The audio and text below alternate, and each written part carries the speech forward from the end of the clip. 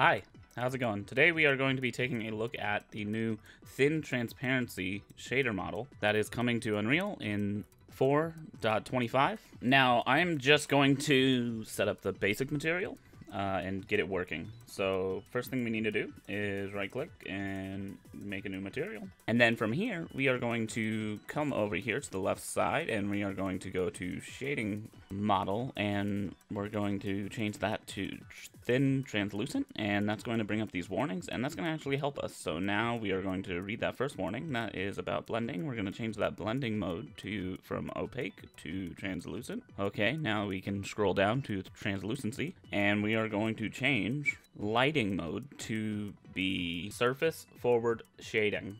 Now I want you to right click in here and we're going to search for thin and we're to click the thin translucency right here.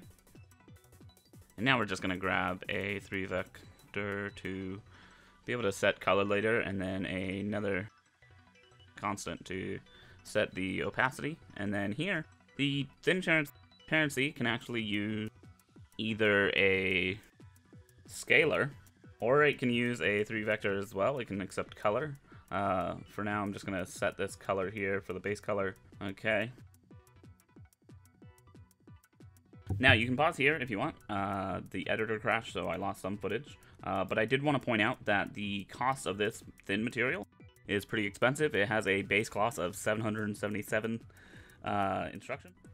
Okay, uh, so that's kind of all I wanted to do, is just show you those first couple steps. The rest is kind of up to you and your material. The last little bit is going to be just me changing that uh, thin transparency to a color uh, to get a nicer look out of it. Now, I just want to take the time to say, if you want more Unreal content, to just uh, hit that subscribe button below.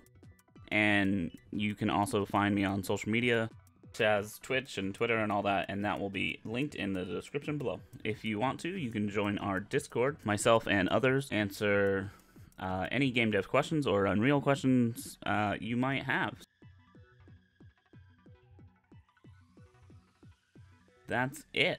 We have unraveled a little bit more Unreal today, and hope you guys learned something, and can't wait to see what you guys make with this new material.